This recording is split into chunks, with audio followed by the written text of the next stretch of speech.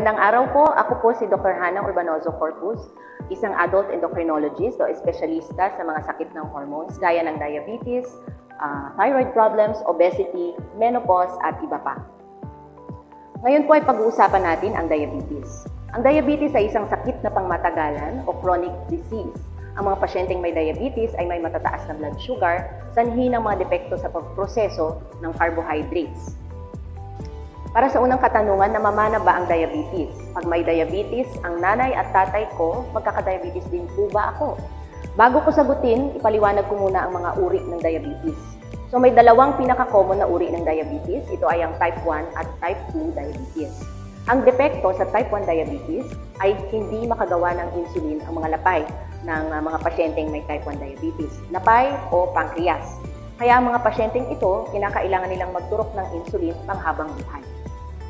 Samantalang ang mga may type 2 diabetes naman, ang pinakadepekto nila ay ang tinatawag naming insulin resistance. Kumbaga, may insulin sa katawan nila, subalit hindi ito ganoon ka-epektibo sa pagpapababa ng sugar.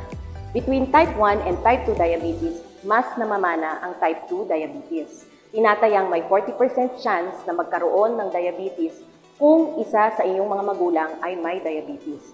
Pero kung parehong magulang mo ang merong diabetes, maaaring hanggang 70% ang chance na magkaroon ka rin ng diabetes. Hindi po ba dapat kumain ng chocolates at dessert ang mga diabetics? Ang asukal o glucose ang main fuel source ng ating katawan. Halos lahat ng organs natin kailangan ng glucose. Kidneys, brains, muscles, liver. Kung walang glucose, hindi rin aandar ang mga ito. Subalit dahil nga hindi kaya ng diabetic na magproseso ng asukal ng wasto, hindi advisable. In fact, pinagbabawal ang mga pagkain tinuturing namin simple sugars. Itong mga pagkain ito ay sa ating panlasa pa lang o sa bibig pa lang matamis na. Dahil ang mga pagkain ganito ay masyadong mabilis magpataas ng asukal sa dugo na hindi na makahabol ang mabagal na pagproseso ng asukal ng katawang may diabetes. Halimbawa, ang pag-release ng insulin mula sa lapay, mabagal na. Ngayon, hindi naman bawal mag-dessert. Pipiliin lang natin ang mga pagkain sugar-free at pwede rin ang mga prutas in moderation. Meaning, hindi natin pasosobrahan ang dami ng kakainin natin. Halimbawa, kung grapes, anim na piraso lamang.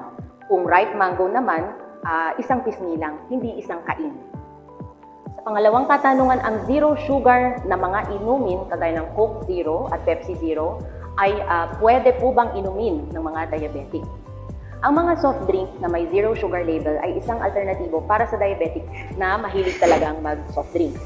Ang pampatamis sa mga inuming ito ay hindi asukal, kundi sugar alter alternatives or non-caloric sweeteners na hindi nakakapagpataas ng sugar. Bagkus, mas maigi na rin na sanayin ng isang diabetic na ang kanyang panlasa ay hindi na maghanap ng matatamis. Nang sa ganon, mas madaling maiiwasan ang mga bawal na pagkain. Dapat po bang uminom ng maraming tubig ang may diabetes at bakit? Magandang practice sa isang diabetic ang pag-consume ng 1.5 to 2 liters per day ng tubig. That's around 6 to 8 glasses a day. Ang pag-inom ng sapat na tubig ay nakakatulong sa pag-promote ng good kidney function at makakaiwas sa kidney failure, isa sa mga pinaka-dreaded na complication ng diabetes.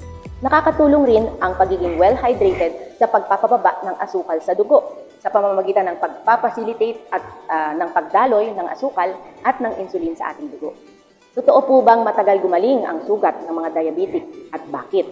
Hindi lahat ng diabetics matagal gumaling ang sugat. Kalimitan, ang mga diabetic na may sugat na hindi gumagaling ay iyong mga matagal ng diabetic at iyong mga hindi kontrolado ang kanilang blood sugars. Kapag napabayaan ng diabetes, ang tuloy-tuloy na matataas na asukal ay nakaka-damage sa mga maliliit na ugat natin, pati na rin sa ating maliliit na nerves. Kapag nasira ang blood vessels o mga ugat, hindi na nakaka-flow ng maayos ang dugo. So hindi nakakarating sa sugat ang mga natural na pang-repair natin na nanggagaling sa ating dugo. At kapag nasira naman ang ating mga maliliit na nerves, hindi na nakakaramdam ang ating mga paa o kamay at nagmamanhid ang mga ito. Kaya madali silang ma-injure na hindi nila namamalayan. Hindi nila alam na tusok na pala ang paa nila at dahil dito, madali ring mapasukan ng mikrobyo at mag-infeksyon ang mga sugat nila. Kung ako po ay may pre-diabetes, papunta na po ba ako sa pagkakaroon ng diabetes o maaari pa po maibalik sa normal ang aking kondisyon? Magandang tanong po iyan. Taon-taon, tinatayang nasa 5 to 15% ng mga pre-diabetics sa buong mundo ang tumatawid na ng tuluyan sa pagiging diabetic. Malaki ang chance ng isang pre-diabetic na magtuloy sa diabetes kung hindi niya babaguhin ang kanyang lifestyle, ang kanyang eating habits at physical activities. Subalit, kung makakasunod siya sa advice ng kanyang doktor, then may chance din naman balik sa normal ang kanyang blood sugars. Although, hindi na maaalis ang risk na magtuloy sa diabetes ito several years after, kaya ang advice sa mga pre-diabetic is every year, at least every year, kailangan magpa-check sila ng blood sugars. Weight control, wastong pagkain, ehersisyo ang mga cornerstone ng prevention ng diabetes. Kaya ngayong Diabetes Awareness Week, every fourth week ng July taon-taon, inaanyayahan ang lahat na makilahok sa mga libreng blood sugar screening activities na malapit sa inyo. Uh, all over the Philippines, may mga nagsasagawa ng mass screening sa inyong locality para malaman uh, kung unang mas maaga kung ikaw ba ay diabetic na o pre-diabetic na. So sumangguni rin kayo sa inyong mga local na doctors o sa mga espesyalista ninyo sa diabetes dito sa Lorma o saan mang may malapit sa inyo kung nais nyong magpa-screen at kung may mga katanungan pa kayo tungkol sa diabetes. At risk ang mga may kamag-anak na diabetes, may PCOS o polycystic ovarian syndrome, may hypertension, uh, overweight, and obesity.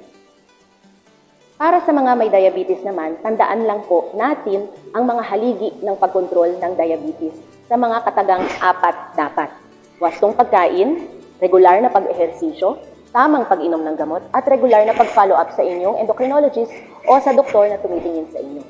Muli po, ako si Dr. Hannah Urbanoso Corpus, isang espesyalista sa diabetes at ang aking clinic ay dito lamang sa Lorma sa OPD 3 tuwing lunes at Huwebes, alauna ng hapon onwards. Maraming salamat po.